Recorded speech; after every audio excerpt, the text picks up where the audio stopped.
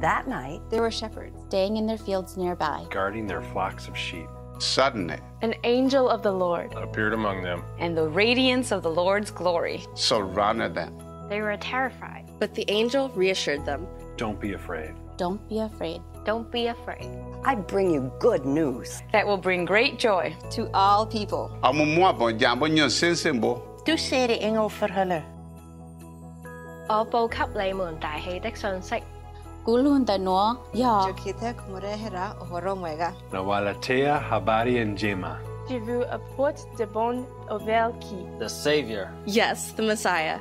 Christus der Herr. su Salvador, que es Cristo Jesús. Choan Soshigul. Orabe ase abantu bonsi.